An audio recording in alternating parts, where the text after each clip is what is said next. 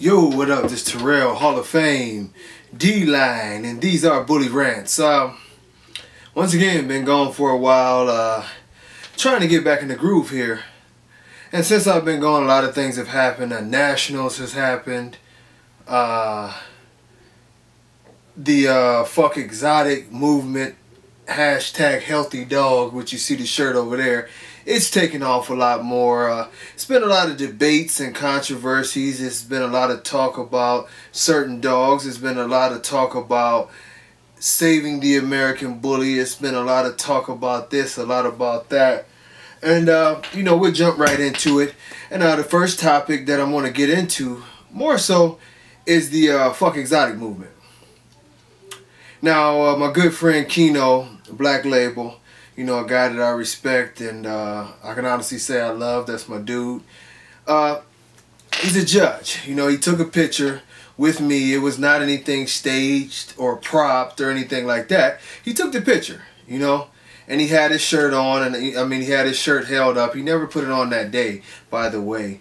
But, uh, you know, I had my shirt on and people got sort of pissed and they, you know, he's a judge. He shouldn't be doing that. You know, they took this spot to uh, make a statement and this and that and the other. Let me first of all address this. And the first reason why I'm going to address this is that these original print of these shirts are like a year old. You know, they didn't gain a lot of momentum on the ABKC circuit, but the shirts are all over the world, you know, in Europe, you know, South America, you know, South Africa. These shirts are everywhere, and a lot of people have the same thing.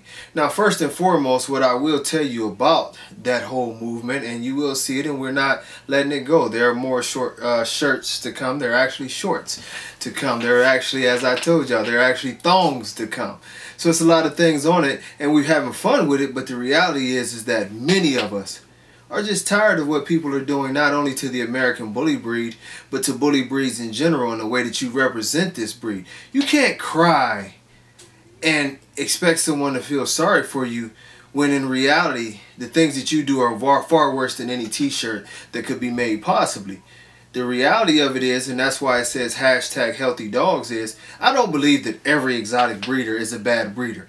I know exotic breeders who are trying to do things the right way, but they are very much so in the minority. You know, I've talked to them even to the point that when we get to in some conversations, some of them find them, some of them find it funny that the dogs that they consider quality to still have the exotic look, but are very, you know, uh, what we would say clean and well structured dogs.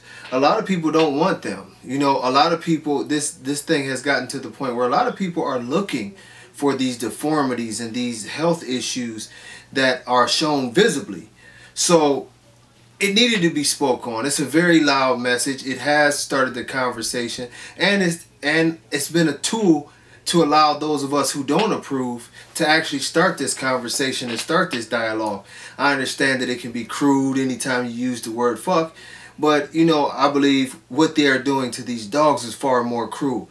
You know, we are putting things together. We have support from all around the world. It will be more than just a t-shirt or just something that is said. It'll be a constant movement, not only to bring back the true American bully and the dog that represented this breed and was a very, very, very, very good representation of what uh, this breed was supposed to be, but more so is to separate ourselves and to educate our, uh, ourselves and others as to what the dog should be and to stop this hideous breeding.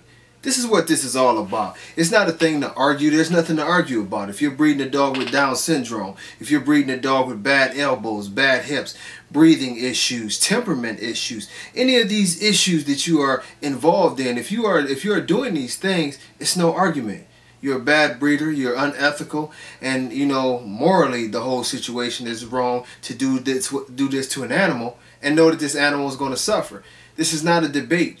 This is basically putting the ball back in your court because many times when people try to talk about structure and health and things like that, you know, you have to take on insults like people talking about reindeers and people talking about, oh, your shit just doesn't sell and that's old school this and that's old school that and this and that and the other. When the bottom line of it is, is good healthy dogs is never an old school thing. You can do all of the muscling up on a dog. You can do all the things the right way and make a beautiful animal. But the reality is, is what you're doing is wrong no matter which way you try to put it. You can keep on with the insults and you can try to uh, do your gang mentality type things that y'all do where y'all jump all over one or two people who do have the balls to speak up for your actions on a post and y'all gang up on them and they're just hating because they're not getting $10,000 a puppy. Nonsense. The reason why they're speaking on it is because it's wrong in every category that you could ever name. And it's disrespectful to those who actually do work to try to make this breed a positive thing. So yes, the fuck exotic movement will get stronger. As I say now, I have to reorder shirts because we actually did sort of sell out. You know, it's literally, I've got seven or eight shirts here in the box. But new ones are on their way. You know, we will be taking orders this week and special orders and sending out boxes, you know, all around the world. But, you know, we're real with this. It's not just about a t-shirt. It's about a movement and something that we feel like we need to take the breed back. We'll get into that more on the next um, on the next video, but I did want to address it's not an attack on every single person who has exotics. If you are making a move to do it the right way, more power to you. But all you people who know that you're not, please don't cry because it's going to get deeper and deeper. Peace.